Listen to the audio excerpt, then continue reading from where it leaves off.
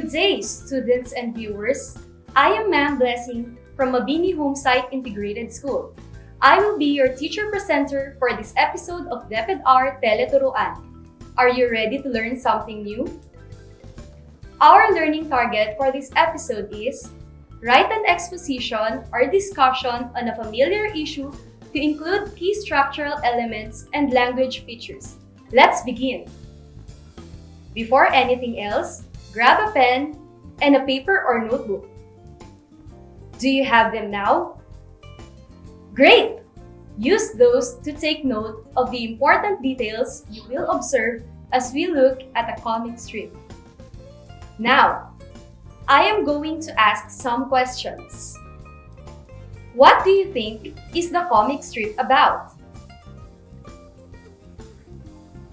If your answer is about quarantine, staying at home, or anything similar to these, you are correct. What is Hazel's problem? If your answer is Hazel is bored, you are right. What is her solution to the problem? If your answer is do some art activities, then that is excellent. Have you ever written an essay? Well, very good if you have. Today, we are aiming to write not just any kind of essay, but an expository essay. It is a type of essay that explains, discusses, and clarifies a certain topic. How do we write an expository essay? First, we will select a topic. Next, we are going to find as many information about it as possible. Lastly, arrange the statements to make the essay sensible. Remember that our expository essay should have introduction, body, and conclusion. The introduction must contain the thesis statement. It is the topic and focus of the discussion which should be clear and specific. The body contains supporting details, additional researches, and supplementary information which are factual and relevant to the topic. The conclusion contains a bit of summary of all the information presented. You may also leave an impactful ending so that your essay will remain in the reader's mind. Take note that we should also use transitional words or phrases before proceeding to another thought.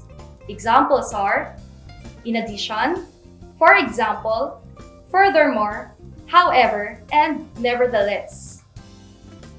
Additional reminders since our essays are academic, they must be formal. The use of colloquial words and expressions must be avoided.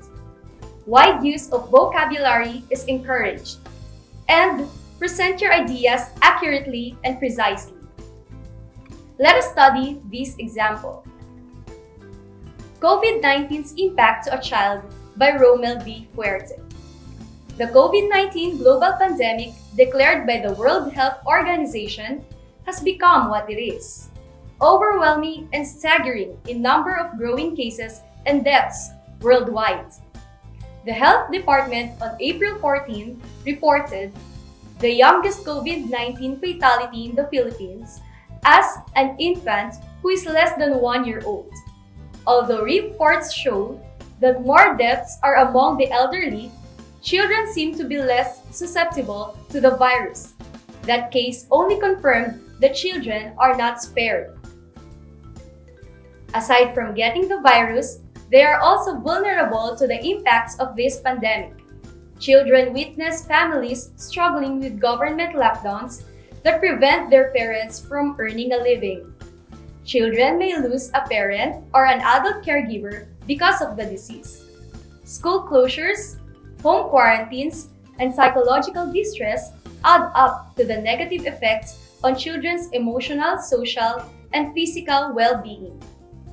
And for a child, this intimidating outbreak more than meets the eye it has become, for them, everything. Let us continue to work with the national government agencies and local government units in mitigating possible secondary impact of this pandemic to the children. Part of promoting children's protection is providing children with the right information on how to protect themselves, promotion of best hand washing and hygiene practices, and providing psychosocial support to reduce stress, fear, and stigma. Our support and cooperation, less the panic and the blaming game, is what is needed for us to overcome this huge challenge we are confronted with as one humanity. We are one for dear life, one for a healthier and safer tomorrow, one for children. Now, what is the essay about? If your answer is about COVID 19's impact to a child, then you are correct. What parts of essay does the example have? If your answers are introduction, body, and conclusion, then you are right. We can see that everything that has been discussed can be observed in this sample essay. Are you ready to create your own? Remember the comic strip we had a while ago? If yes, very good, because you are going to write an essay applying everything that you have learned in our discussion, and it will be about community quarantine. You may look around you and start writing about facts, situations, and experiences during the community quarantine. Write well Thank you, and I hope you had a meaningful learning with me today. Again, I am Ma'am Blessing, your teacher presenter for today.